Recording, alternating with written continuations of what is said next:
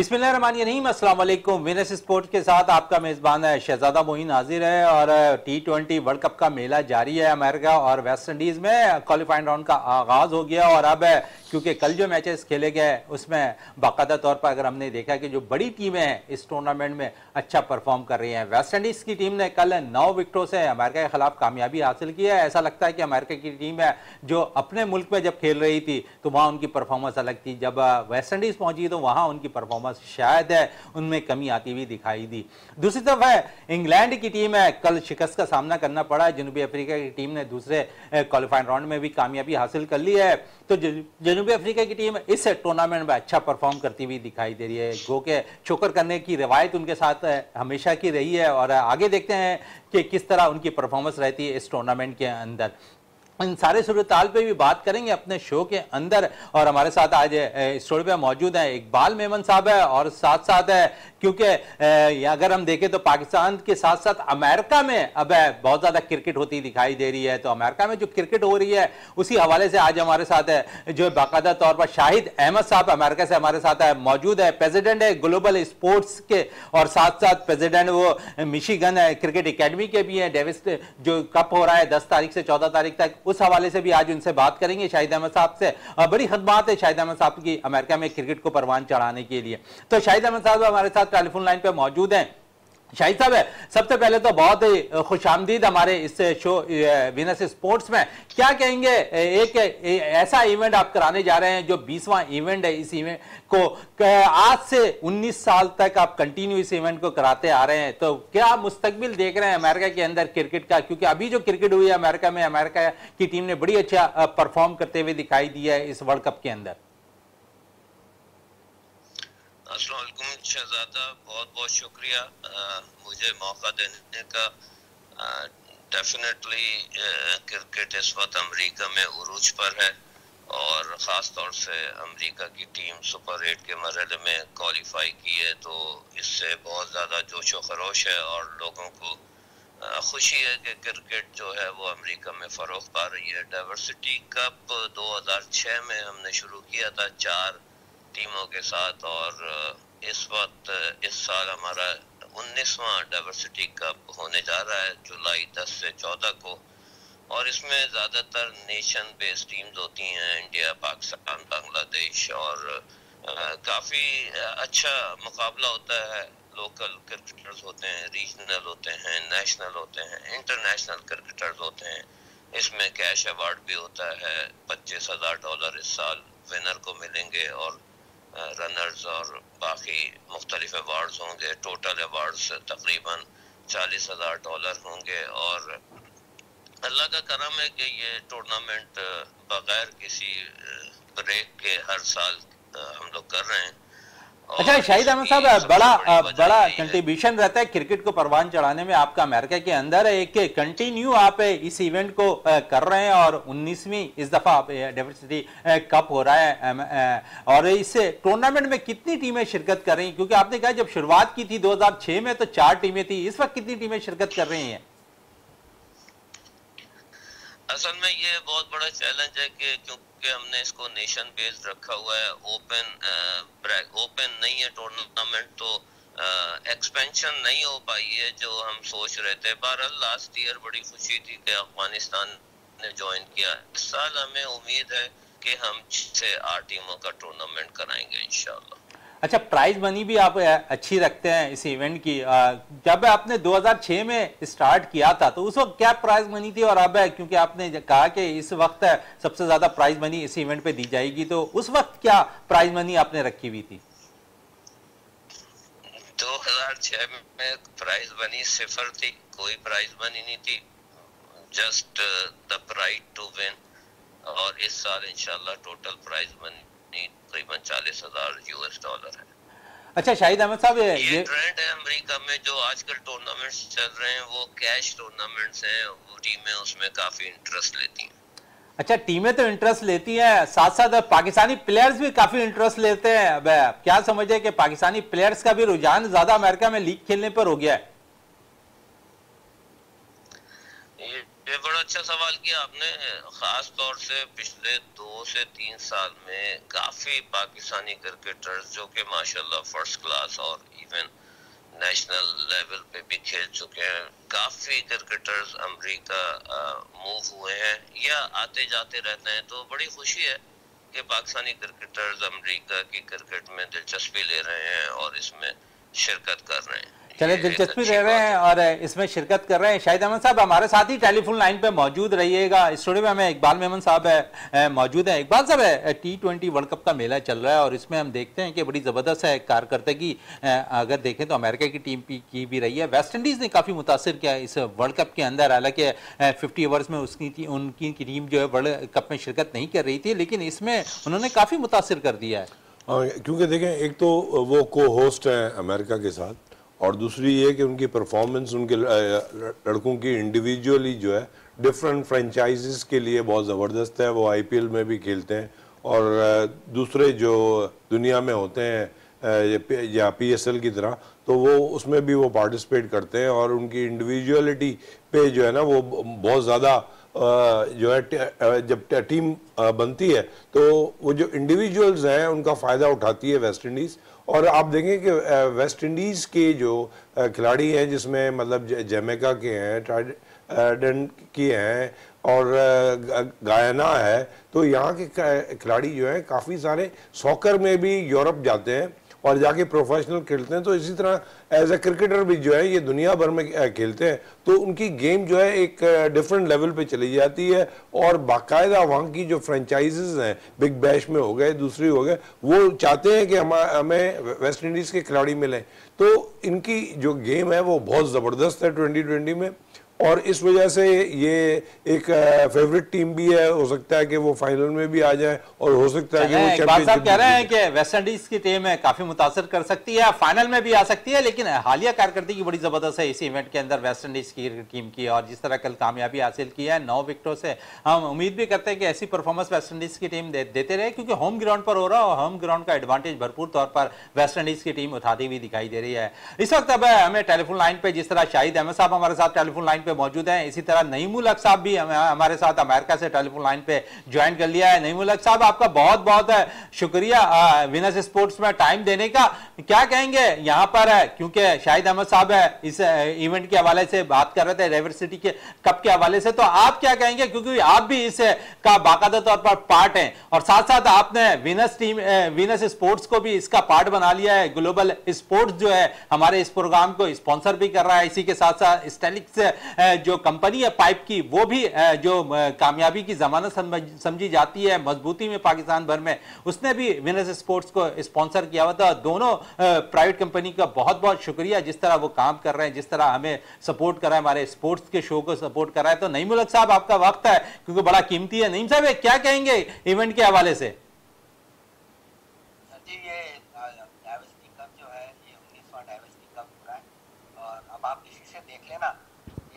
Gap नहीं आया इसमें कुछ ऐसा नहीं आया इवन कि हमने कोविड में भी ये डाइवर्सिटी कब कराया तो अब आप इसको देख लें, कितनी मुस्तकिल मिजाजी से ये टूर्नामेंट होता है। उसका सारा क्रेडिट जो है वो मिस्टर शाहिद अहमद को जाता है। हमारी हालाँकि बहुत बड़ी टीम नहीं है, अब चार पाँच लोग हैं। उसमें शाहिद अहमद है, एक सरमत है एक डॉक्टर मैं नाम उनका भूल गया डॉक्टर साहब है हमारे। हम लोग चार पाँच लोग डॉक्टर शौकत। डॉक्टर शौकत साहब है। आप नाम बोल रहे डॉक्टर शौकत साहब है। शायद अहमद साहब भी हमारे साथ टेलीफोन लाइन पे मौजूद हैं। कमाल है। डॉक्टर साहब का मैं नाम भूल गया। मास्टर चाहते हैं डॉक्टर साहब अगर सुन रहे तो माफ़ कर दीजिएगा तो डॉक्टर साहब है हमारे। डॉक्टर शौकत साहब है है। पाँच छः लोग हैं जो मतलब करते हैं। लेकिन मेन जो होते हैं इसमें शायद अहमद साहब ही होते हैं। तो हम बड़ा ज़बरदस्त किस्म का ये इवेंट होता है। इसमें जब फाइनल और सेमीफाइनल मतलब ऐसा लगता है कि जैसे पाकिस्तान में ये टूर्नामेंट हो रहा है, बड़े ज़बरदस्त किसी का क्राउड भी आ जाता है और बड़ा डिसिप्लिन टाइप का टूर्नामेंट होता है ये। तो इसका सारा क्रेडिट हम शाहिद अहमद और हमारी टीम को जाता है। तो इन ताला इस साल भी हम इसको अच्छी तरह से पूरा करा के इसको ख़त्म करेंगे। इसके अलावा हम एक चैम्पियंस कप भी कराते हैं जो अभी ख़त्म हुआ है लास्ट वीक वो भी हमारा कोई चौथा इवेंट था तो वो भी हमने बड़ा ज़बरदस्त किस्म का ऑर्गेनाइज करते हैं। उसमें उसमें ये होता है कि उसमें लोकल लड़के खेलते हैं, उसमें हम किसी प्रोफेशनल को अलाउ नहीं करते। जैसे अगर हमारी टीम है फ्लोडा की टीम है तो उसमें फ्लोडा के ही लड़के खेलते हैं। उसमें हम किसी दूसरे स्टेट के लड़के को अलाउ नहीं करते। तो इसमें हम लोग कोशिश कर रहे हैं क्रिकेट को थोड़ा लोकल तौर पे भी प्रमोट करें। अच्छा लोकल की बात आती है नहीं मुलक साहब तो क्या आप क्योंकि बहुत ज़्यादा अमेरिका के अंदर रग्बी काफ़ी खेली जाती है तो स्कूलों के जिस, क्योंकि अगर पाकिस्तान में देखें तो ग्रास रूट लेवल की बहुत बात होती है और स्कूल लेवल पर बहुत ज़्यादा हम बात कर रहे होते हैं कि स्कूल से क्रिकेट स्टार्ट होनी चाहिए। अगर हम देखें तो अमेरिका के अंदर रग्बी को काफ़ी पसंद किया जाता है। क्या स्कूलों में क्रिकेट का रुझान बढ़ता हुआ देख रहे हैं और जिस तरह अमेरिका की टीम में परफॉर्म कर रही है वर्ल्ड कप के अंदर? कोशिश तो बहुत हो रही है, कोशिश तो बहुत हो रही है, लेकिन इसका जवाब आप शाहिद अहमद से लेंगे तो ज़्यादा अच्छा होगा। शायद आप जवाब दें। चले, शाहिद साहब से भी जवाब लेंगे, लेकिन इकबाल मेमन साहब हमारे साथ मौजूद हैं। इकबाल साहब से मजीद और भी बात कर लेते हैं। इकबाल साहब, अगर हम बात करें पाकिस्तान की टीम के हवाले से, क्योंकि अब पाकिस्तान के अंदर भी कैंप है पाकिस्तान शाइन का लगने वाला है चौबीस तारीख से, और इसमें हम देख रहे हैं कि बाकायदा तौर पर जितने प्लेयर्स थे, यहाँ तक कि सरफराज अहमद को भी जो है, हम देख रहे हैं कि वापस बुला लिया गया उस कैंप में। फिर शाहनवाज धानी की वापस आए फिर जाहिद महमूद और मेरे लिए बड़ा एक सरप्राइज़ रहा है उस्मान कादिर का। उस्मान कादिर एक दफ़ा फिर मुतासर करने में शायद कामयाब हो गए डोमेस्टिक क्रिकेट में परफॉर्म करके उन्हें फिर इस कैंप के लिए मदू कर लिया है और फिर नौजवान जितने भी प्लेयर्स हैं उन्हें ज़रूर इस कैंप के लिए मदू किया है। तो खुशाइन चीज़ है कि अच्छी खिलाड़ियों को मौका फराम करिए इस कैंप के अंदर। इकबाल साहब, क्या कहेंगे? बहुत ज़बरदस्त चीज़ है। जैसे शहजादा हम पहले भी ये बात कर चुके हैं कि जो हमारा फ़र्स्ट क्लास स्ट्रक्चर है, वो इतना ख़राब नहीं है और हमारा जो लॉन्चिंग पैड है क्रिकेटर्स के लिए, वो वही है और वही एक जो है जगह है जहाँ पे वो अपनी टेक्निक को भी वो जो है ठीक करते हैं। और दूसरी बात ये कि हमारा फ़र्स्ट क्लास जो है ना वो ठीक ठाक रगड़ा देता है क्रिकेटर्स को। और जब तक ये रगड़ा नहीं लगेगा ना और उसके बाद आप साल दो के बाद अगर आपके पास वो क्वालिटी है तो फिर आप वनडे की तरफ़ आएँ और उसके बाद जो है वो ट्वेंटी ट्वेंटी की। तो अभी तो हमारे जो टेस्ट मैचेस हैं वो बांग्लादेश से हैं। तो मैं समझता हूँ कि ये बहुत अच्छी चीज़ है अच्छे खिलाड़ी आए हैं वा, वापस। और मैं समझता हूँ कि कहीं ना कहीं आपने जो है कुछ और खिलाड़ी हैं जिनको आ, वापस ले लेके आना चाहिए। क्योंकि देखिए बेसिकली जो भी खिलाड़ी होते हैं वो फ़र्स्ट क्लास पहले खेलते हैं। उसके बाद जो है वो आ, इनके लिमिटेड ओवर्स की क्रिकेट में आते हैं। तो हमें बेसिकली देखना चाहिए। सेलेक्टर्स की जो है ना वो परखने का तरीका जो है वो वो सही नहीं है कि ड्राइंग रूम में बैठ के जो है वो टीम सेलेक्ट कर लेते हैं। जाके देखें कि वो बिल्कुल ग्राउंड में जाकर यकीनन खिलाड़ियों की जाँच नहीं होती है, उनकी परफॉर्मेंस है, कौन सा लड़का मुश्किल हालात में पचास रन कर रहा है, कौन सा लड़का मुश्किल हालात में जो है तीस रन कर रहा है सेंचुरी नहीं, हमें परफॉर्मेंस चाहिए होती ग्राउंड के अंदर, मुश्किल हालात में रन करने। इसी तरह कौन सी विकेट के ऊपर जो बॉलर्स है, अच्छी परफॉर्मेंस दिखा रहे होते हैं। तो क्योंकि बात हो रही है अमेरिका के हवाले से क्रिकेट की परवान चढ़ाने की तो शाहिद अहमद साहब भी हमारे साथ टेलीफोन लाइन पर मौजूद हैं, जिस तरह शुरुआत में उन्होंने बात कही थी तो इसी तरह नईम साहब ने कहा था कि जो ग्रास रूट लेवल की बात है ना, वो शाहिद अहमद साहब से बात कर लें। आप वो बेहतर जवाब दे सकते हैं। तो शाहिद अहमद साहब मैंने जिस तरह नईम साहब से बात की थी कि अमेरिका में अब वर्ल्ड कप के बाद शायद ऐसा लगता है, क्रिकेट बहुत ज़्यादा अरूज पे जाएगी, मुख्तलिफ़ है। हम देखते हैं कि लीग्स तो ज़रूर होती है, लेकिन हम बात कर रहे हैं ग्रास रूट लेवल पर। आप मुसलसल जो है, उन्नीसवां इवेंट करवा रहे हैं, क्रिकेट का एक मेला सजा रहे हैं। लेकिन ग्रास रूट लेवल पर आप समझ रहे हैं, इस वर्ल्ड कप के बाद अमेरिका में क्रिकेट मजीद बेहतर होगी, उरूज पर आएगी। जी शहजादा मोइन बात यह है कि इसमें कोई शक नहीं कि पिछले तीन, चार, पाँच सालों में अमेरिका में क्रिकेट बहुत ज़्यादा खेली जा रही है। ख़ास तौर से माइनर लीग का शुरुआत हुई थी। उसके बाद मेजर लीग भी हुई पिछले साल। जहाँ तक बात ग्रास रूट की है, वाकई उसमें बहुत इस वक्त मेहनत की ज़रूरत है। बहुत ही कम स्टेट्स हैं अमेरिका की जहाँ पे ग्रास रूट क्रिकेट समझ लीजिए कि मौजूद है। एक उसमें एलिनॉय है, उनकी स्टेट लेवल पे उन्होंने बाकायदा प्रोग्राम अप्रूव किया है ग्रास रूट क्रिकेट का टू ताकि ये स्कूल के बच्चों में फ़रोग पाए। न्यूयॉर्क में काफ़ी इसमें काम हुआ है टेक्सास में काम हुआ है। और दीगर स्टेट्स हैं। इसके अलावा लोगों ने प्राइवेट एकेडमीज भी खोली हुई हैं। मैं खुद भी हर फ्राइडे बच्चों को जो 10 साल से बड़े बच्चे हैं स्कूल के बच्चे उनकी फ्री हम कोचिंग कर रहे हैं। लेकिन यह है कि अमेरिका का साइज़ देखते हुए अगर ग्रास रूट को देखा जाए तो अभी बहुत ही कम है। इसमें बहुत ज़्यादा काम करने की ज़रूरत अच्छा, है काम करने की ज़रूरत बॉडी का किरदार बड़ा बिल्कुल बॉडी का किरदार, क्योंकि मैंने आपकी बात को इंटरप्ट कर दिया थोड़ा सा एक सवाल मजीद करना चाह रहा हूँ, क्योंकि आप ग्लोबल स्पोर्ट्स के भी प्रेसिडेंट है साथ साथ है आप मिशिगन क्रिकेट एकेडमी भी चला रहे हैं तो आपने कहा कि फ्री बच्चों को आप वहाँ पर सिखा रहे होते हैं। रुझान क्या है बच्चों का? क्योंकि रग्बी वहाँ बड़ा मशहूर है क्रिकेट की तरफ़ तवज्जो दी जाती है नहीं दी जाती है ज़्यादा? देखिए, बड़ा इंटरेस्टिंग सवाल है। असल में ज़ाहिर बात है, अमेरिका के जो मेन स्पोर्ट्स हैं बास्केटबॉल फुटबॉल बेसबॉल क्रिकेट और और सॉकर जिसको हम फुटबॉल कहते हैं एशियन कंट्रीज़ में। तो क्रिकेट अभी बिल्कुल उसके करीब भी नहीं पहुँचा है। तो ये वाकई एक बहुत बड़ा चैलेंज है बच्चों को क्रिकेट की तरफ़ लाने का। हम सब जानते हैं कि क्रिकेट एक बहुत ही बेहतरीन स्पोर्ट्स है, एक बहुत अच्छी मुस्बत एक्टिविटी है और कोशिश जारी है। चले कोशिश जारी है हम चाहते भी हैं कि अच्छी से अच्छी क्रिकेट आप वहाँ पर बच्चों को देते हुए नज़र आए और उन्हीं से अच्छे प्लेयर्स अमेरिका के लिए निकल कर सामने आए। इकबाल मेमन साहब हमारे साथ यहाँ स्टूडियो में मौजूद है एक सवाल करना चाह रहे हैं आपसे। शाहिद साहब सलामकुम मेरा सवाल ये है बहुत बहुत शुक्रिया। आ, सवाल आ, मेरा ये है कि वहाँ पे हमारे पास यहाँ से क्योंकि थर्ड वर्ल्ड कंट्रीज़ जो भी हैं और स्पेशली जो सार्क कंट्रीज़ हैं यहाँ से बहुत सारी मास माइग्रेशन होती है अमेरिका की तरफ़। तो जो फैमिलीज़ वहाँ पे जाती हैं, उनके बच्चे जो हैं, वो ऑलरेडी कुछ ना कुछ बेसिक क्रिकेट खेल चुके होते हैं और वो जब स्कूल कॉलेजेस में जाते हैं तो आप नहीं समझते कि ये जो है ब्लेसिंग इन डिस्गाइज है कि इस टैलेंट को जो है ना वो आप हंट करें और जो ऑलरेडी उनको थोड़ी बहुत बेसिक आती है तो उनको ही इन्वॉल्व किया जाए स्कूलों में और कॉलेजेस में। और ये है कि फिर वो उसमें जो है क्रिकेट और परवान चढ़ेगी। नहीं, बहुत इंटरेस्टिंग बात की है। ज़ाहिर बात है कि अगर आप यूएस क्रिकेट टीम को भी इस वक्त देखें तो उसमें आपको काफ़ी ऐसे प्लेयर नज़र आते हैं जिनका ताल्लुक क्रिकेटिंग नेशन से है।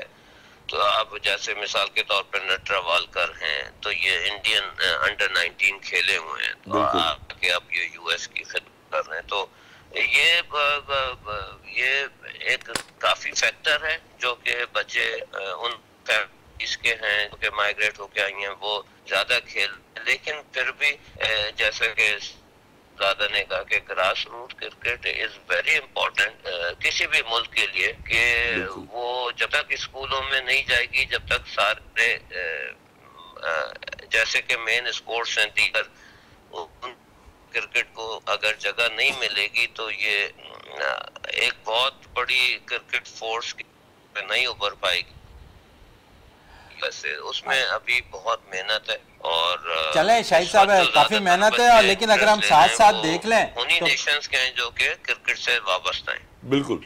साथ साथ अगर हम देख लें तो इस पे हम देखते हैं कि बाकायदा तौर पर क्योंकि आपने इवेंट उन्नीसवा करवा रहे हैं डाइवर्सिटी कप है और उस पर अगर हम देखें तो अठारहवीं जो हुई थी डाइवर्सिटी कप उसमें टाइटल किसने जीता था? यार, ये बड़ा मुश्किल सवाल कर लिया शहजादा। ये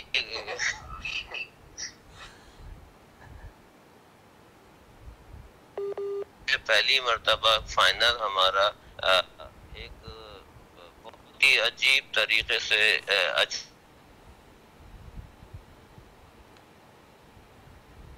थोड़े से नेटवर्क में थोड़ी सी प्रॉब्लम हो रही है तो शायद है हमारा रबता जैसे ही होता है शायद साहब से तो हम मजीद भी बात करते हैं। विनर नहीं था उसमें फाइनल वाज अनडिसाइडेड और ये एक ऐसी बैडलक की हमारे लिए टीमों के लिए भी कि एक डिसीज़न की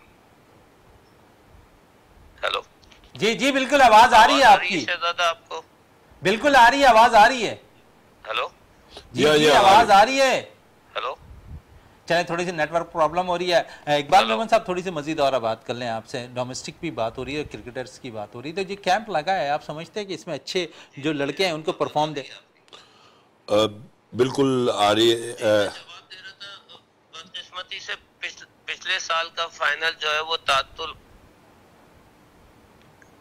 नेटवर्क कुछ प्रॉब्लम है शायद इस बेस पे आवाज़ है क्लियर नहीं हो पा रही है। इकबाल साहब हम डोमेस्टिक क्रिकेट पे बात कर रहे थे क्या कहेंगे? देखें एक तो चीज़ ये है कि जो भी खिलाड़ियों के नाम आपने लिए हैं, जो पाँच छः हैं, वो ऑलरेडी टेस्ट क्रिकेट खेल चुके हैं और एक्सपीरियंसड हैं। ये अच्छी बात है कि उन्होंने डोमेस्टिक क्रिकेट में अच्छी परफॉर्मेंस दी है। लेकिन वो जो टैलेंट है हमारा, जो यंगस्टर्स हैं, उनमें भी बहुत सारे खिलाड़ी होंगे जिनको इंटरनेशनल लेवल पे आपने एक्सपोजर देना है। तो सेलेक्टर्स को चाहिए कि जो यंगस्टर्स हैं जिस तरह शाहनवाज दानी को तो वो लेके आ गए और उनके साथ जो है दूसरे भी यंगस्टर्स होंगे जिनको वो लेके आए।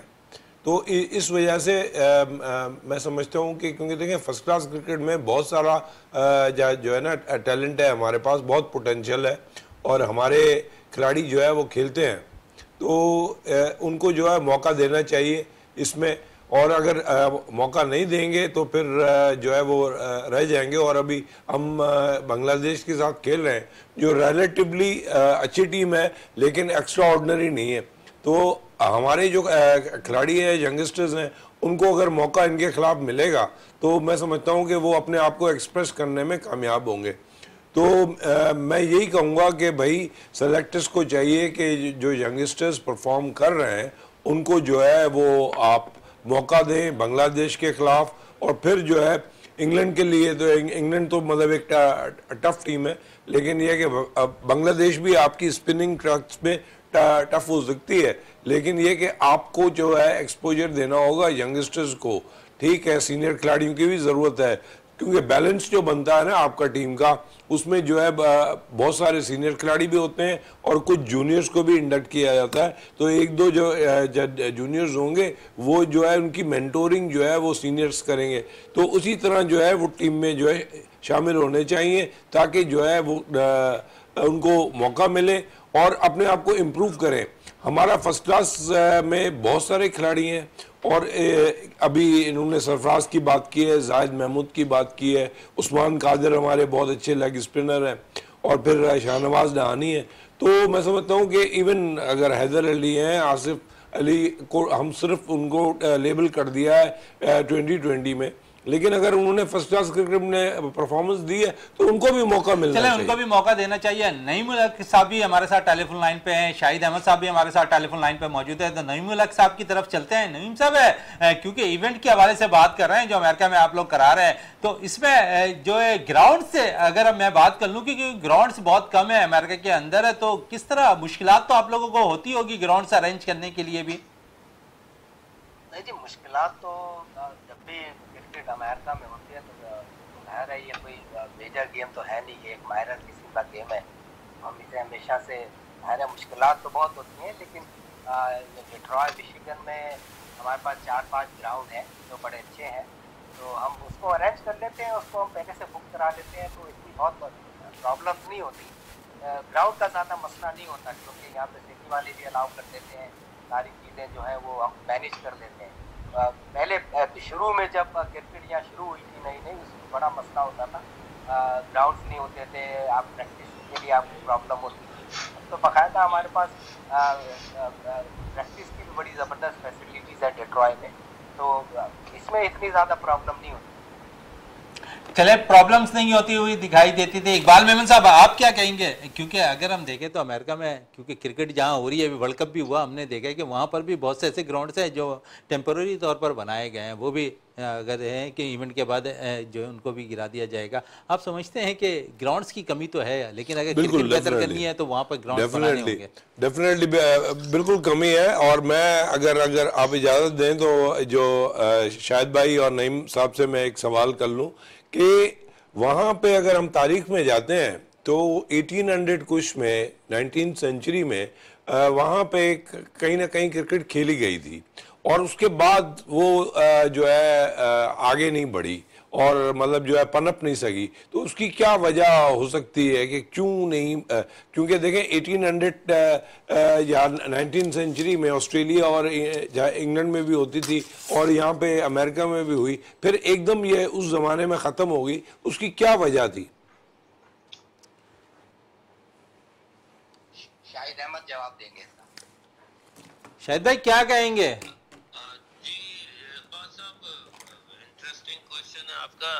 थोड़ा सा असल में आवाज़ में कुछ तातुल है लेकिन जो मुझे अब आपकी बेहतर आवाज़ आ रही है। इंटरनेशनल क्रिकेट बहुत पहले। एक्चुअली सबसे पहले इंटरनेशनल क्रिकेट मैच जो हुआ था वो अमेरिका और कनाडा के दरमियान हुआ था फिलाडेल्फिया की स्टेट में। बिल्कुल। लेकिन अमेरिका का जो मिजाज था वो आपको अंदाज़ा है कि वो हर चीज़ डिफरेंट करना चाहते थे। तो मैं समझता हूँ उन्होंने क्रिकेट को देखते हुए बेसबॉल इन्वेंट किया और वो उसकी तरफ़ चले गए।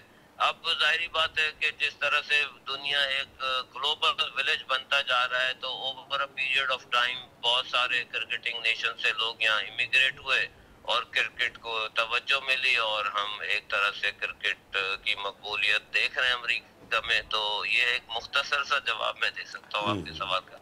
चले शाहिद अहमद साहब आपका आपका बहुत बहुत शुक्रिया विनेस स्पोर्ट्स में टाइम देने का और जिस तरह आप गुफ्तु कर रहे थे इस इवेंट के हवाले से, हमारी भी दुआ है कि उन्नीसवां आप डाइवर्सिटी कप अच्छे अंदाज में कराएँ और जिस किस्म की आप इनामी रकम दे रहे हैं, उम्मीद है कि क्रिकेट मजीद और परवान चढ़ेगी और ग्रास रूट लेवल पर आप जिस तरह काम कर रहे हैं, मिशिगन जो एकेडमी है, आप उसे रन कर रहे हैं, फिर ग्लोबल स्पोर्ट्स को आप रन कर रहे हैं तो हमारी भी दुआ है कि आप इसी तरह अमेरिका के लिए, क्रिकेट के लिए काम खदमात अंजाम देते रहें और क्योंकि अमेरिका में अब क्रिकेट परवान ज़्यादा चढ़ रही है तो इसलिए उम्मीद करते हैं कि अमेरिका की क्रिकेट मजीद और बेहतर होती हुई दिखाई देगी। शाहिद अहमद साहब, आपका बहुत बहुत शुक्रिया विनस स्पोर्ट्स में टाइम देने का। इकबाल साहब शाहिद अहमद साहब जिस तरह बात कर रहे थे और अमेरिका में क्रिकेट के जिस तरह आप रुझान बढ़ा, आप समझते बेहतर होगा आप बिल्कुल देखें जो भी स्पोर्ट्स है, वो कहीं पे भी अगर जाती है तो और अगर वहाँ पे भी लोग जो है, अपने आप को एक्सप्रेस करते हैं उसी गेम में तो वो तो अच्छी बात है और ज़्यादा से ज़्यादा कंट्रीज़ को आना चाहिए कंपटीशन बढ़ना चाहिए और अमेरिका तो मतलब है कि स्पोर्ट्स का हब है, और वहाँ पे अगर क्रिकेट परवान चढ़ती है, या कोई भी गेम जो वहाँ पे अभी नहीं खेली जाती, वो अगर वहाँ पहुँचती है तो बहुत ज़बरदस्त है। और मैं समझता हूँ, और जब अमेरिकन पीपल, दे आर हमेशा, they are very good in sports और एथलेटिक्स में। तो मैं समझता हूँ कि ये जो भी पैशन रखते हैं क्रिकेट के बारे में उनके लिए तो बहुत खुशी की बात है कि क्रिकेट जो है वो इस वक्त भी अमेरिका में खेली जा रही है और फ्यूचर में भी और ये क्रेडिट जो है वो हमारे शाहिद साहब को जाता है और नईम साहब को जाता है और उनकी टीम को जाता है कि ये लोग जो है इसको आ, आ, जो है मोटिवेट कर रहे हैं पूरे नेशन को और इसको जो है तो मैं समझता हूँ कि ये बहुत खुश आइन बात है। हम हम जैसे लोगों के लिए जो इसको एज अ पैशन रखते हैं। हमने स्कूलों में, कॉलेजेस में और यूनिवर्सिटीज़ में खेली, लेकिन यह कि हमने आगे ज़्यादा क्रिकेट नहीं खेली। लेकिन ये कि इसको जो है हम फॉलो करते हैं तो मैं समझता हूँ ये बड़ी ज़बरदस्त बात है। और आप लोग जो भी काम कर रहे हैं, वो अपने खुलूस के साथ, वो क्रिकेट को परवान चढ़ाने के लिए ज़बरदस्त। के लिए अमेरिका से अच्छे काम करते दिखाई दे रहा है। नहीं मुलक साहब हमारे साथ हमेशा टेलीफोन लाइन पे भी मौजूद रहते हैं। इस वक्त भी हमारे साथ है टेलीफोन लाइन पे मौजूद है। नहीं मुलक साहब थोड़ी सी बात मैं ज़रूर करूँगा क्योंकि इस वक्त वर्ल्ड कप टी का मेला चल रहा है और वेस्ट इंडीज में अब क्वालिफाइड राउंड हो रहा है। तो आप समझ रहे हैं कि इस वक्त वेस्ट इंडीज का जो हम देख रहे हैं वहाँ की विकटों के हवाले से कि 180, 90 और 160 के लगभग रन बन रहे हैं जबकि अमेरिका में हम देख रहे थे विकेट जो है 110, 130 रन भी काफ़ी मुश्किल पैदा कर रही थी दीगर टीमों के लिए। बिल्कुल सर जी आपने बड़ा अच्छा सवाल किया। असल में आ, मुझे बड़ा शिकवा है आईसीसी से भी शिकवा है कि आ, जब आप किसी स्पोर्ट्स को प्रमोट करते हैं तो आपको पिछले दो साल के लेते हैं तो आपको उन दो साल में विकेट्स पे काम करना चाहिए था। जैसे आपने न्यूयॉर्क में एक टेम्पररी स्टेडियम बना दिया आपने पता नहीं टू मिलियन डॉलर उस खर्च किए उसको अब आप गिरा भी रहे हैं। तो वहाँ की विकेट ड्रॉपिंग विकेट आपने ला के लगाई आपने उसको बहुत लेट कर दिया। अब जैसे उसमें पाकिस्तान को बड़ा नुकसान हुआ श्रीलंका को हुआ न्यूजीलैंड तो ये ये ये आईसीसी को इस पर बहुत पहले से काम करना चाहिए था क्योंकि इससे मतलब यहाँ तो 120, 117, 113, 106 न्यूयॉर्क में जो मैच हो रहे थे। मैं डेलस की बात नहीं कर रहा हूँ पोर्ट लाडरडेल की भी बात नहीं कर रहा। पोर्ट लाडरडेल में तो खैर एक ही मैच हुआ। और इनको ये भी देखना चाहिए था कि जून, जुलाई में अमेरिका में बहुत बारिश होती है स्पेशली फ्लोडा फ्लोरिडा तो ये यहाँ पे ये उनको हर चीज़ जहन में रखनी चाहिए। आप देखें ना, सारे मैच तो वॉश आउट हो गए थे, एक पाकिस्तान का नकली मैच हो गया था। तो उसमें क्या हुआ? उसमें भी नुकसान पाकिस्तान को ही हुआ ना, क्योंकि इंडिया का और उसका जो मैच था वो हुआ नहीं। तो हम पाकिस्तान का जो मैच हुआ वो वो भी लो स्कोरिंग मैच था। क्योंकि बारिश इतनी हुई हुई थी, विकेट बिल्कुल, समझ लें, काफ़ी हद तक गीली थी। तो आईसीसी को ये बहुत पहले सोचना चाहिए था। अब जो मैच हो रहा है वेस्ट इंडीज़ में, इसमें दो तीन मुख्तलिफ़ ग्राउंड है। जैसे सैन लुशिया में कल मैच हुआ था, उसकी विकेट अच्छी है, बहुत ब्रेक नहीं होता वहाँ पे। लेकिन जो दूसरे ग्राउंड है, वहाँ पे विकेट्स में ब्रेक है। तो वहाँ पे इतना, अगर वहाँ पे 150 160 रन होंगे और आपके पास स्पिनर अच्छे हैं तो आप नाम से वो मैच जीत सकते हो। तो आप वेस्ट इंडीज़ को देख लेना, कल उसने कितने अच्छे तौर पर पीछे से वर्कआउट किया हुआ है क्योंकि उनका और इंग्लैंड का मैच बहुत इंपॉर्टेंट है। सॉरी उनका साउथ अफ्रीका और उनका मैच मेरे ख्याल से बड़ा इंपॉर्टेंट होगा। तो देखें उन्होंने कितनी ज़बरदस्त किस्म की अपनी तैयारी की थी, उन्होंने 11 ओवर कुछ में ये पूरे रन कर दिए तो इसी तरह होता है, आपको हर चीज़ को पीछे से देखना होता है कि किस तरह आपने क्या करना है। तो साउथ अफ्रीका इस सफ़र बहुत अच्छा खेल रही है। अब देखते हैं कि चार सेमीफाइनल की टीमें कौन सी होती है, इंडिया, ऑस्ट्रेलिया, साउथ अफ्रीका। चौथी टीम वेस्ट इंडीज़ या इंग्लैंड में से हो। चले, नहीं मलक साहब, थोड़ी सी बात अब पाकिस्तान टीम की भी कर लें और अगर हम बात करें पाकिस्तानी टीम के हवाले से, नागिस परफॉर्मेंस रही आईसीसी वर्ल्ड कप 2024 टी में, और जिसके बाद वतन वापस टीम पहुँच गई। अब पाकिस्तान का अगर देखें तो बांग्लादेश ने पाकिस्तान का टूर करना है, टेस्ट मैचेस हैं, फिर इंग्लैंड की टीम ने पाकिस्तान का दौरा करना है। दो बड़े ममालिक की टीमें इस वक्त पाकिस्तान से टेस्ट मैचेस खेलने आएँगी। आप एक तरफ़ देखते हैं कि जहाँ पर सीनियर प्लेयर्स ने कोई खातिर कारकर्दगी नहीं दिखाई। गो के अगर टेस्ट मैचेस में हम देखें तो अभी क्योंकि कैंप जो है पाकिस्तान शाहीन का लग रहा है और इसमें तमाम ही वो प्लेयर जो डोमेस्टिक में जो मेरे पास लिस्ट आई है, जो उमदा परफॉर्मेंस देने वाले जो प्लेयर्स हैं, उन्हें मदू कर लिया गया है। फिर साथ साथ उस्मान कादिर, जो काफ़ी अरसे से गायब थे, एक दफ़ा फिर वो इससे पाकिस्तान शाहीन के जो तीन यहाँ पर कैंप लग रहा है, उसमें मौजूद है। जाहिद महमूद नज़रअंदाज किए जा रहे थे, वो इस कैंप में मौजूद है। शाहनवाज धानी वो मौजूद है। फिर है, महरान मुमताज़ है, जिनका काफ़ी नाम आ रहा है कि अच्छे लेफ़्ट आर्म स्पिनर थे, पाकिस्तान को लंबा सर्वाइव कर सकते हैं। तो उनका नाम भी सामने आ रहा है। हसीबुल्ला विकेट कीपर बैटर उनका नाम है। फिर मोहम्मद हारिस उनका नाम सामने आ रहा है। फिर तमाम ही अब्दुल्ला शफीक, सरफराज अहमद भी इस कैंप का हिस्सा है। आप समझ रहे तमाम ही पाकिस्तानी जो उमदा परफॉर्मेंस देने वाले डोमेस्टिक में जो प्लेयर्स हैं, उनको तो मधु कर लिया गया है। लेकिन आखिर में हम वही देखते हैं कि फिर सीनियर लड़के जो है टीम के लिए सेलेक्ट हो जाते हैं, क्या पाकिस्तान क्रिकेट बोर्ड के चेयरमैन मोहसिन नकवी साहब इस दफ़ा जो बड़ा इंदिया दे रहे हैं कि बड़ी सर्जरी होगी तो अब बांग्लादेश के खिलाफ हमें डर का जो हार का खौफ है, वो दिल से निकालना पड़ेगा और निकाल कर जो है, हमें वो टीम इंतखब करनी चाहिए जो नौजवान खिलाड़ी पर मुश्तमिल है। क्या आप समझते हैं कि बांग्लादेश के खिलाफ सीरीज़ के लिए हमें ऐसे लड़कों का इंतखब करना चाहिए? तो मुझे ये नहीं समझ आ रही कि पाकिस्तान शाहीन का नाम क्यों दिया है कि पाकिस्तान शाहीन ये पाकिस्तान का कैंप है या पाकिस्तान शाहीन मतलब यंग लड़कों का कैंप है या इसमें सारे ही लड़के उन्होंने शामिल किए अगेंस्ट बांग्लादेश के लिए? थोड़ा सा इसको क्लियर कर दें ये बांग्लादेश पाकिस्तान शाहीन के लिए कैंप लगा हुआ है बाकायदा तौर पर। अच्छा इसमें सरफराज और ये मतलब जो लड़के हैं ये भी सरफराज भी हैं?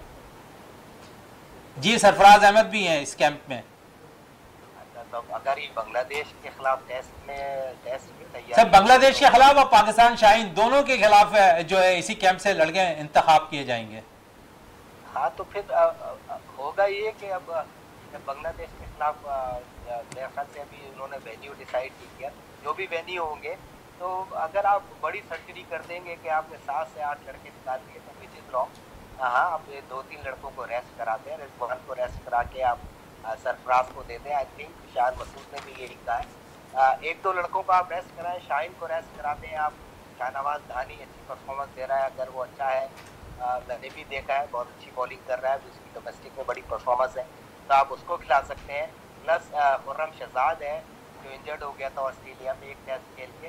अब उसको प्रॉपर किसी का चले प्रॉपर अब उनको खिला सकते हैं। नईमुल साहब आपका बहुत शुक्रिया। अमेरिका से हमारे साथ टेलीफोन लाइन पे मौजूद थे। नईमुल साहब आपका बहुत बहुत शुक्रिया। और अब जो है बाकायदा तौर पर जिस तरह थोड़ी सी देर ज़रूर की है हमारे साथ स्टूडियो में ज्वाइन करने के लिए खालिद नफीस साहब हमारे साथ स्टूडियो पे मौजूद हैं। Chairman tournament committee R C A के के यहाँ पर अहदे रखते हैं। फिर साथ साथ आज़म खान हमारे साथ मौजूद है। मैनेजर कोटा ग्लेडिएटर्स के हैं। वो हमारे साथ मौजूद है क्योंकि टाइम थोड़ा सा हमारे पास अब शॉर्ट है तो आज़म खान साहब की तरफ़ ही चलते हैं सबसे पहले। आज़म साहब है क्या कहेंगे जिस तरह आ, आ, अगर हम देखें तो डोमेस्टिक क्रिकेट में काफ़ी बातें हो रही थी पाकिस्तान क्रिकेट बोर्ड के हवाले से और बड़ा अब काम किया पाकिस्तान क्रिकेट बोर्ड ने डोमेस्टिक क्रिकेट पर और जो इवेंट सब करा रहे थे वो बाकायदा तौर पर रन होते हुए दिखाई दिए। कुछ अरसे वो गैप आया वो गैप खत्म कर दिया गया।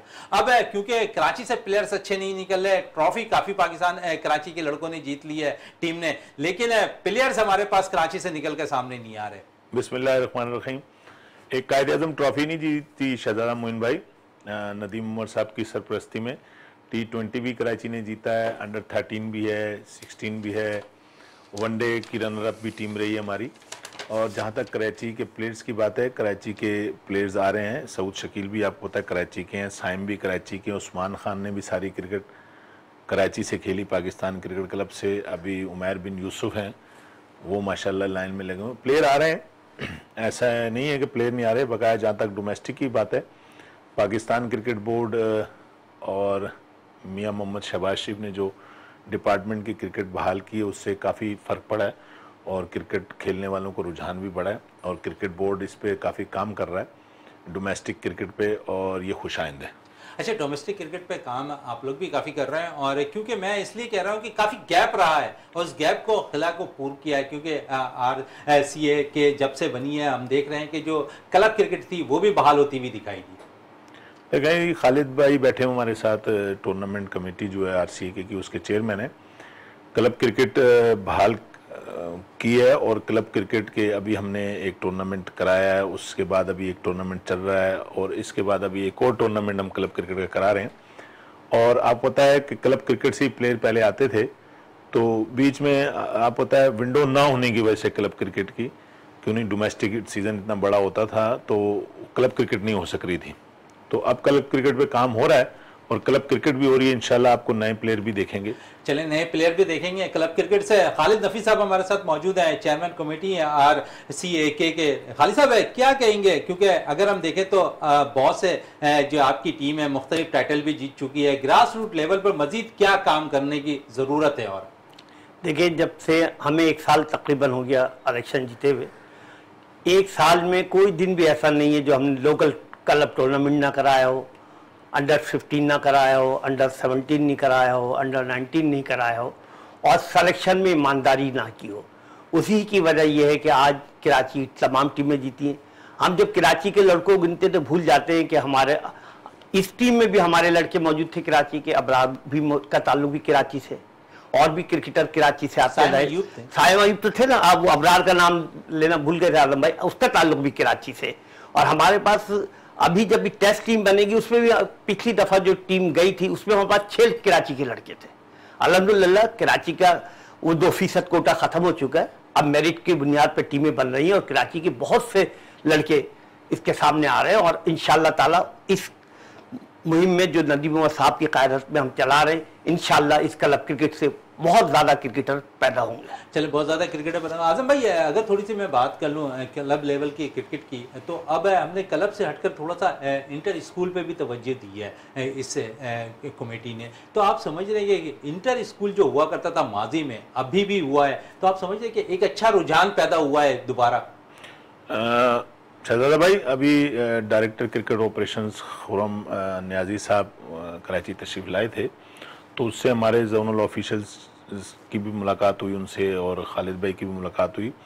उन्होंने इंटर क्लब इंटर क्लब के साथ साथ इंटर स्कूल, इंटर कॉलेजेट और इंटर यूनिवर्सिटीज़ टूर्नामेंट कराने का प्रोग्राम बनाया और इन सितंबर के अंदर आपको, सितंबर में या अक्टूबर में आपको inter school, inter universities, inter college tournament भी दिखेगा कि हो रहा है कराची के अंदर, इंशाल्लाह। अच्छा कराची के अंदर होता हुआ दिखाई देगा, यकीन हमारी भी दुआ है कि कराची से एक दफ़ा फिर बड़े क्रिकेटर सामने निकल कर आते हुए दिखाई दें। क्योंकि कराची में आज़म भाई आपने बड़े क्रिकेटर्स बनाए इस वक्त अगर हम देखें तो कराची में अच्छे बैटर्स नहीं निकल रहे। क्या वजूहत है? क्या माजी में सीमेंट विकटों पे खेलते थे तो वहाँ से बैटर्स अच्छे निकल जाते थे।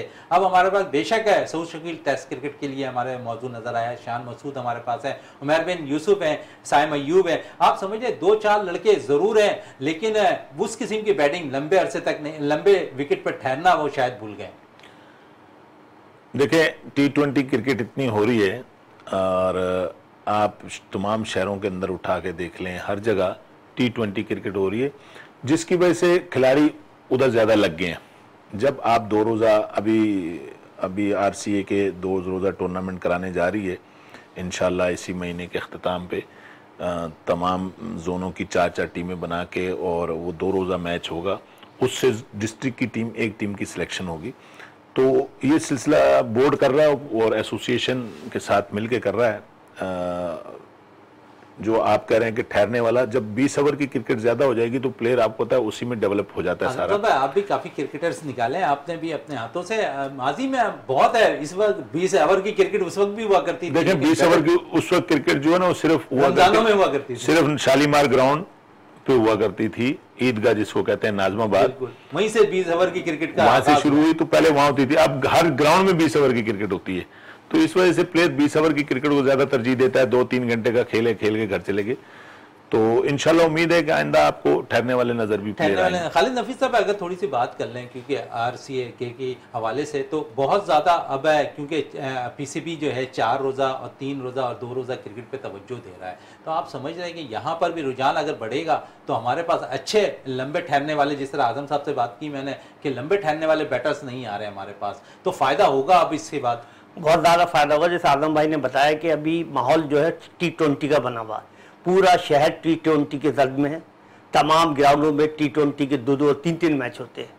उसकी वजह ये कि लोग जल्दी घर जाना चाहते हैं, लेकिन अब पीसीबी ने हिदायत की है और इंशाल्लाह इसी महीने के आखिरी में हम दो रोज़ा टूर्नामेंट शुरू करें, जिसमें हर जोन की चार टीमें होंगी। ये हमारे छियासी मैच हमने कराने हैं और इंशाल्लाह जब छियासी दो रोज़ा मैच होंगे तो लोग विकेट पे ठहरना भी जानेंगे।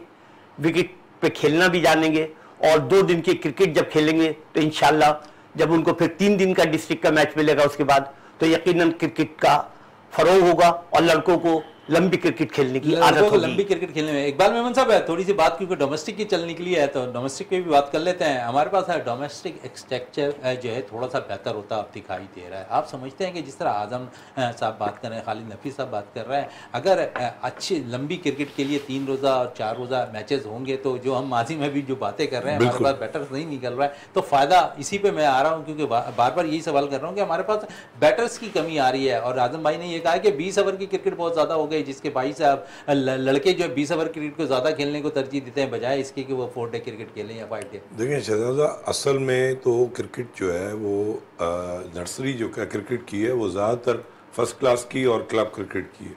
और वहीं से जो है ना खिलाड़ी अपने आप को बना के आगे आते हैं।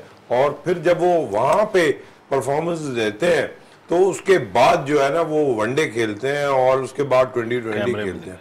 तो आपने ये फ्लॉ देख लिया हमारे खिलाड़ियों का, जिनको सिर्फ़ दो छक्के और तीन छक्कों की बुनियाद पे सेलेक्ट किया गया था। तो ये ये प्रॉब्लम इसी वजह से आया है और आपको हमेशा परखना चाहिए खिलाड़ी को कि वो अपना क्लब क्रिकेट में और फ़र्स्ट क्लास क्रिकेट में क्या करता रहा है और बेसिक जो उसकी डेवलपमेंट होती है ना, वो होती क्लब क्रिकेट से है और फ़र्स्ट क्लास से ठीक है, वहाँ पे पैसा इन्वॉल्व है 2020 में। लेकिन ये कि उसके बावजूद, मगर देखिए प्रॉब्लम होता क्या क्यों है? जब उनको ये पता है कि सेलेक्टर्स जो है, वो मैदानों में आते ही नहीं है और वो जो है, बस एक, दो खिलाड़ियों को देख लेते हैं और फिर देखते हैं कि मीडिया हाइप कितना है, उन खिलाड़ियों का फ़ैन फॉलोइंग किसकी है और फिर उसके बाद जो है वो क्रिकेटर सेलेक्ट कर लिए जाते हैं। तो मैं समझता हूँ कि आपको एम्फोसिस जो है, वो अपने फ़र्स्ट क्लास क्रिकेट पे ही करनी चाहिए। हमने जो है सत्तर पिछहत्तर साल से बेहतरीन खिलाड़ी जो है वो इसी सिस्टम से निकाले हैं। सिर्फ़ प्रॉब्लम जो हमें आ रही है इस, इस वक्त वो आ रही है कि हमारे जो क्रिकेटर्स हैं उनको इंटरनेशनल वेन्यूज पे डेवलप करने के लिए काफ़ी टाइम होता है। आप देखें अगर हम सेवेंटीज़ के टाइम पे चले जाएँ तो जब ऑस्ट्रेलिया में सेवेंटी सिक्स में, सिडनी में हमने टेस्ट मैच जीता तो उस वक्त जो है, हमारे जो खिलाड़ी थे, वो ज़्यादातर थर्टी फाइव प्लस के थे। तो उसकी वजह से, क्योंकि वो काफ़ी अरसे से खेलते हुए आ रहे थे तो हमने ये है कि हमें पिचेस को भी थोड़ा सा ख्याल करना पड़ेगा। कहीं पे मतलब जो है, ठंडे इलाके हैं, वहाँ पे हम पिचेस बनाए। अगर हमारे पास जो है सीमिंग पिचेस नहीं बनती तो वो उस पर हमें एम्फोसिस करना पड़ेगा। फ़र्स्ट क्लास स्ट्रक्चर हमारा बुरा नहीं है। हमें पिचेस का थोड़ा जो डोसाइल पिचेस हैं उनको जो है लाइवली करना पड़ेगा। बिल्कुल बड़ी अच्छी पॉइंट नोट कराया आपने पिचेस के हवाले से। ये खालिद नफी साहब से भी बात करें खालिद साहब पिचेस के हवाले से अगर हम बात करें थोड़ी सी तो कराची की विकटें स्पिनर्स को काफ़ी सूट करती हैं। जो आप विकटें बनाएँगे जो तीन रोज़ा या चार रोज़ा क्रिकेट के लिए आप समझते हैं उस पर भी थोड़ी सी दोनों तर्ज पर रखेंगे जहाँ पर बॉलर्स को भी हेल्प आउट होती हो बैटर्स को भी हेल्प आउट होती हुई नज़र आए। देखिए अभी अंडर नाइनटीन शुरू हो रहा है पच्चीस तारीख से और हमने उसके तमाम मैचेस यूवीएल पर नया नाजाबाद पर। यहाँ तमाम विकटें ऐसी हैं जो बॉलर और बैट्समैन दोनों को मदद करती है, मीडियम पेसर को भी, फास्ट बॉलर को भी और बैट्समैन को भी। लिहाजा हमने अंडर 19 के मैचेस वहीं रखे और इंशाल्लाह इस अंडर 19 के मैचेस वहाँ होने से खिलाड़ियों को बड़ी मदद मिलेगी। अच्छा नदीम उमर साहब काफ़ी क्रिकेट के लिए काम कर रहे हैं। क्या कहेंगे उनके क्रिकेट के जज्बे को देखकर और इस वक्त आर सी के गदा तौर पर सदर भी हैं कितना रुझान आप देख रहे हैं कि नदीम उमर साहब का क्रिकेट पे फोकस किया हुआ और खासकर कराची की क्रिकेट पर? देखिए नदीम उमर साहब का चौबीस घंटे क्रिकेट फोकस है और नदीम उमर साहब पैसे से लेकर हर चीज़ के लिए हर वक्त हाजिर होते हैं और उनकी हमें सिर्फ़ एक ही हिदायत है कि आप क्रिकेट खेलें। पैसे की तरफ़ ना देखें। जहाँ आपको कोई प्रॉब्लम आती है, आप हमारे पास आए। और मैं समझता हूँ, एक साल में कोई ऐसा दिन नहीं है जब क्रिकेट ना हो रही हो और नदीम उमर साहब एक एक चीज़ की रिपोर्ट लेते और नदीम उमर साहब ने ये सब कुछ क्रिकेट की मोहब्बत की वजह से कर रहे हैं। और वो ये चाहते हैं कराची में क्रिकेट का नाम जो है वो ऊपर हो। और अल्लाह का बड़ा करम है कि नदीम उमर के सदर बनने के बाद हमने तमाम टूर्नामेंट जीते और इंशाल्लाह आइंदा भी नदीम उमर साहब की क्यादत में हम तमाम टूर्नामेंट भी जीतेंगे और कराची के लड़के पाकिस्तान की नुमाइंदगी पाकिस्तान की नुमाइंदगी भी करते हुए दिखाई देंगे।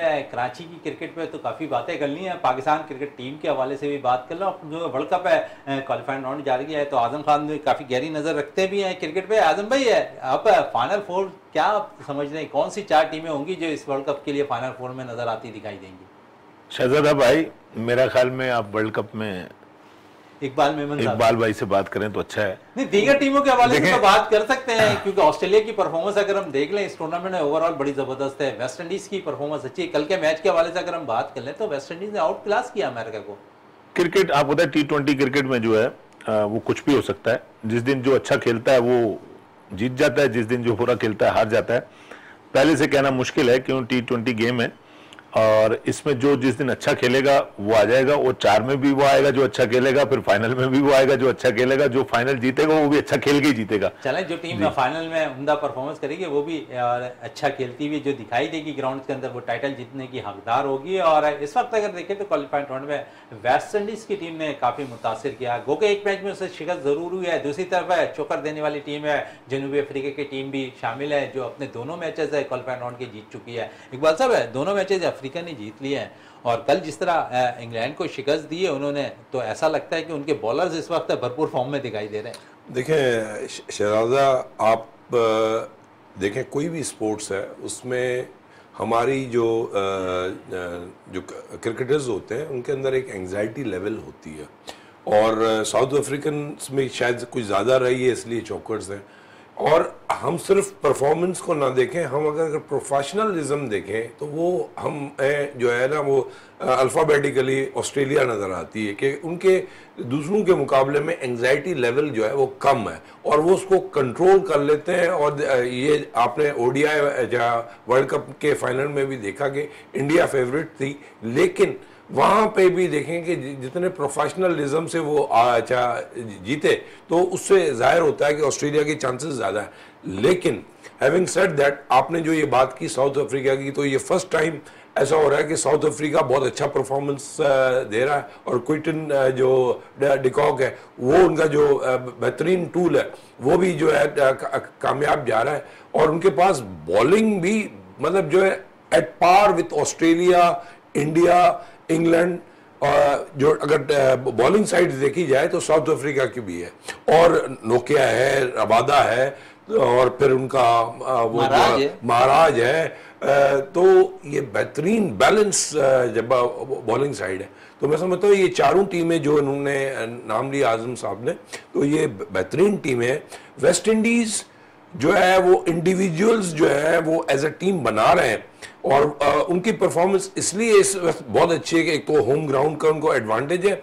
दूसरा ये कि वो जो भी 2020 के ग्लोबली चाहे गेम्स होते हैं उसमें उन फ्रेंचाइज में वो खेलते हैं। इस वजह से वो बहुत अच्छा खेल रहे हैं, वो भी फेवरेट है। तो पाँच टीमें तो फेवरेट हैं ही हैं। चले, पाँच टीमें आपकी नज़र में फेवरेट दिखाई दे रही हैं। दो टीमों ने फाइनल खेला है। आज़म खान हमारे साथ यहाँ मौजूद हैं। आज़म भाई थोड़ी सी बात मस्जिद और डोमेस्टिक क्रिकेट की कर लें और जिस तरह आर के जो काम कर रही है कराची के अंदर, आप समझ रहे हैं, क्योंकि आप लोगों ने वो ग्रास रूट लेवल को दोबारा इंतखब किया है।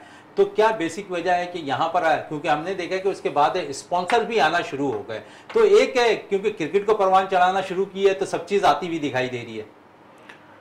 जहाँ तक बात है ग्रास रूट लेवल क्रिकेट की जैसे खालिद भाई ने आपको बताया कि नदीम उमर साहब ने, आप पता है क्लब क्रिकेट पे ज़्यादा फोकस किया हुआ है इस वक्त। और क्लब क्रिकेट उनका स्पॉन्सर आए या ना आए स्पॉन्सर्स की अगर आए तो बहुत ही अच्छी बात है। लेकिन नदीम उमर साहब आपको पता खुद एक स्पॉन्सर ही हैं क्रिकेट के। उनको क्रिकेट से इतना लगाव है कि वो स्पॉन्सर की ज़रूरत ना भी हो तो क्रिकेट को जारी रखते वो क्रिकेट को कहते हैं जी क्रिकेट होनी चाहिए। टूर्नामेंट कमेटी के चेयरमैन बैठे हैं पूछे हैं एक साल से इनको फुर्सत मिली है कभी कौन सा टूर्नामेंट कभी कौन सा टूर्नामेंट वो क्रिकेट नीचे ग्रास रूट लेवल पे क्रिकेट हो रही है। और इसमें काफ़ी अच्छे खिलाड़ी भी आ रहे हैं। और आने वाले दिनों में आपको इनशाला इसका रिज़ल्ट भी आता हुआ रिज़ल्ट भी क्योंकि इस वक्त हमारे पास टाइम थोड़ा सा शॉर्ट है और साथ साथ ये भी आपको बताते चलें कि इस प्रोग्राम को बाकायदा तौर पर जो स्पॉन्सर किया स्टेलिक्स पाइप कंपनी ने और साथ साथ ग्लोबल स्पोर्ट्स ने बाकायदा तौर पर मेरे इस प्रोग्राम विनस स्पोर्ट्स को स्पॉन्सर किया हुआ है, क्योंकि आज़म खान यहाँ पर मौजूद है। उनका शुक्रिया। खालिद साहब, आपका बहुत बहुत शुक्रिया। इकबाल साहब, आपका बहुत बहुत शुक्रिया। प्रोग्राम का अख्ताम करते हैं। इस दुआ के साथ कि पाकिस्तान में खेल और खिलाड़ी तरक्की करते रहें और पाकिस्तान का सब जिलाली परचम दुनिया भर में रोशन रहे। इसी के साथ अपने मेज़बान शहजादा मोइन को इजाज़त दें। पाकिस्तान जिंदाबाद।